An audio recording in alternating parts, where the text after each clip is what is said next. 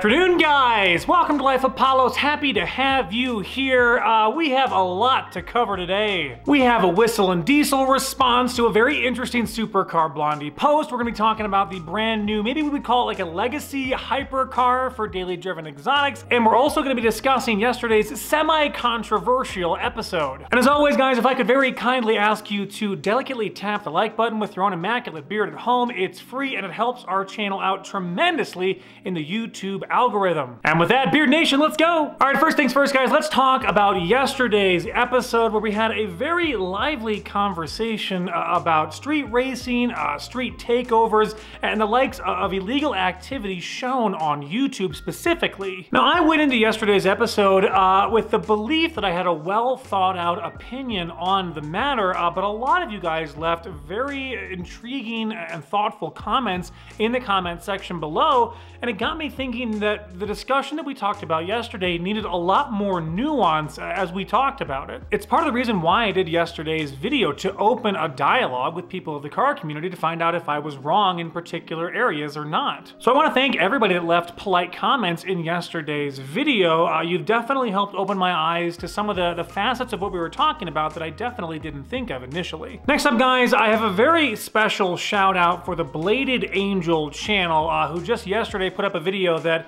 uh, took a, a, lot of guts to do. The video is entitled Why I'll Always Love Forza Horizon 3, and essentially the entire video is a discussion of how that particular game helped Bladed Angel deal with schizophrenia. Talking about a deeply personal issue like that, uh, it cannot be easy for anyone. A very, very powerful video. Uh, if nothing else, go over to the Bladed Angel channel and leave a comment of support. Uh, I think we should encourage people to share things like this can benefit so many people. Additionally, on a side note, uh, if you're not following Bladed Angel, you're missing out on an incredible channel that has some of the most unique car content anywhere on YouTube. I think you guys will all really enjoy what he puts out on a weekly basis. Next up, guys, as I'm sure you've already seen, Daily Driven Exotics uh, with a massive video entitled I Bought My $1 Million Dream Car New Car Delivery Day, a brand new Porsche Carrera GT. Now, believe it or not, we actually covered the fact that we thought they were going to be getting a Carrera GT uh, about a month ago or so. There were a number of videos all in a row on the Daily Driven Exotics channel uh, that essentially hinted that they were going to be buying that sort of legacy hypercar very soon, although at the time it didn't materialize. Very excited to see what they're going to be doing with that car. Uh, they said in the video that one of the first modifications they were going to be doing was a full straight pipe exhaust system, and I can tell you a buddy of mine has a Carrera GT just stock alone, they sound incredible, and straight piped, uh, it's an entirely new level of sound. What I find a little bit interesting is that the mass majority of the comments seem more excited about the Carrera GT than they were about the McLaren P1 so many months ago. Let me know what you guys think about their new legacy hypercar, and are you excited about the new mods they're going to be doing to it? It's been a long time since we've had one of the larger channels have a Carrera GT that was used on a daily basis. I'm excited to see the content they're going to produce. Next up, guys, massive news on Street Speed 717. The viral videos uh, with his TRX have gotten him into a lot of trouble. One of his latest videos called My TRX Jump Video Got Me Criminally Charged with 18 counts by the state. Yes, really. Now definitely watch the video and see what he was charged with. It's a pretty extensive list. The mass majority uh, of the charges stem from some potential contamination uh, on the waterway that he jumped during some of his videos. No doubt he'll be lawyering up and fighting the charge charges uh, right away. Uh, we'll definitely be following this in the future, guys. It's kind of crazy to think that all the TRX jumps and all the, the, viral videos that we saw a number of weeks ago have led us to this moment. Want to make sure I mention Rich Rebuilds next, guys. Uh, he's doing one of the more unique builds in the automotive community. His latest video explains exactly what that is. Uh, building a V8 powered Tesla, what's taking so long? Whenever we talk about Rich Rebuilds as a channel, we have to mention some of the aspects of it that sort of differentiate him from uh, other channels in the space. Uh, a lot of very unique humor, interesting editing, and voiceover work give a very unique feel to what Rich Rebuilds does on a daily basis. Recently hitting a million subscribers. If you're not following the Rich Rebuilds channel, you're missing out on some incredible uh, Tesla action and then a bunch of one-off weird projects like the one we discussed today. Next up, guys, uh, Burlacher, brand new video out called Revealing My First Mod on My Viper. If you'll remember, the Viper uh, was the video that got him, I think it was 700,000 hits, I believe an all-time high for his channel just a couple weeks ago. Now, he explained in the video why he hasn't been posting as much lately. He still has a, a day job and they're uh, kind of ratcheting down right now with a lot of work. But if you want to see the great new mod that he put onto his new Viper, definitely go check it out. And I want to ask you guys what you think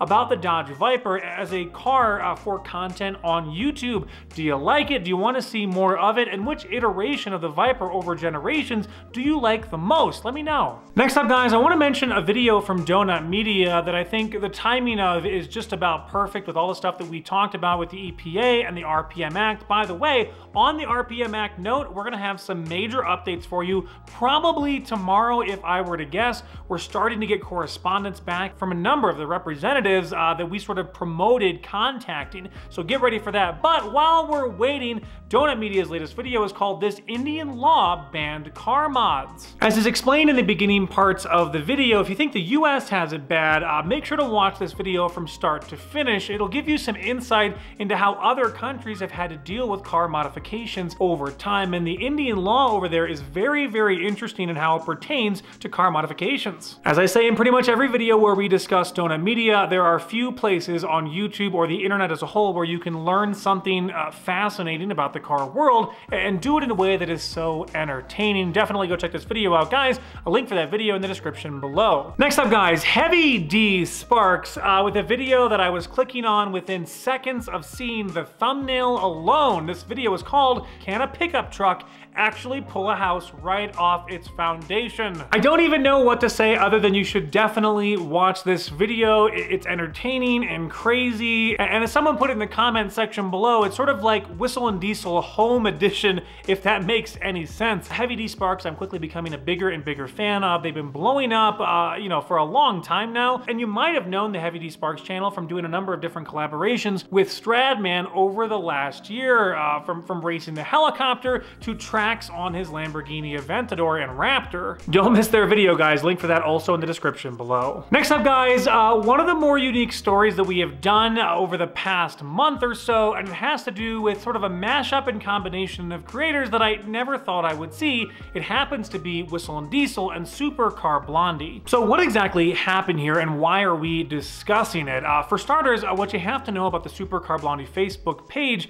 is it is the largest viewed Facebook page on the planet, not just automotive. They get billions with a B views every single month. And the secret to their success there, uh, we'll probably talk about this in a later episode, is that what they do is they'll watch content and basically do a reaction video on top of it, which by their definition makes it transformative. What she posted was excerpts from the WhistlinDiesel video, The Hellcat on the Horse and Buggy Wheels. This made a lot of sense from Supercar Blondie's reaction sort of channel viewpoint. It was an 8 million hit video on YouTube, very easy to replicate some of that success by doing a reaction video on the largest Facebook page on the planet. But as you can expect, uh, there's a particular clash of styles between what Supercar Blondie does and what WhistlinDiesel does in terms of how they present their content to the public. So as soon as Supercar Blondie put this video up, WhistlinDiesel goes onto Instagram and posts this message here saying if you want to read some real blank, uh, go to Supercar Blondie Facebook and look at the offended boomers, they're furious. To say that the Supercar Blondie populace reacted in a somewhat negative way is an understatement statement, here's a very quick sampling of some of the comments that we saw,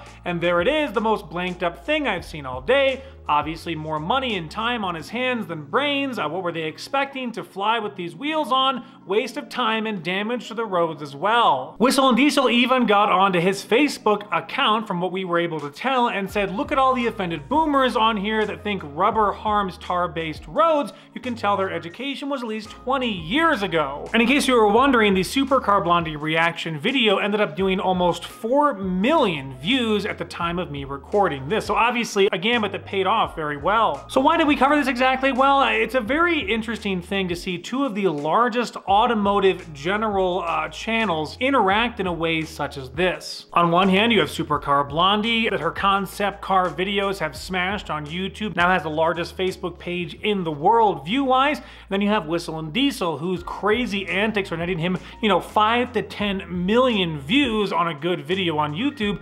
Both have a very particular way about presenting their content to the public. And Anyway, let me know what you guys think about it, and let me know what you think about reaction content as a transformative measure. It's a very interesting topic, uh, something that we probably will discuss here in the future. Next up, guys, holy cow, incredible video from Jon Olsson. This one entitled VIP Viewing uh, Taycan Cross Turismo Turbo S. I love this new Porsche. I think it's amazing. I think it looks fantastic. And Jon Olsson has one of the best cinematic sequences with this car that I have seen since its introduction just a couple weeks ago. If you've never checked out Jon Channel, you're missing out. He doesn't always do car vlogs, but when he does, they are just stellar across the board. Next up, guys, Tall Guy Car Reviews has been killing it in views lately. A lot of that stemming from some of his truck content with the TRX, but his latest video is called I Sold My Truck, and I regret it already. A pretty good video overall, and if you've been missing out on his content for whatever reason, make sure to go check this one. I think you'll really enjoy it. And last, but certainly not least, guys, Mr. JWW uh, talking about building a special edition Aston Martin DBX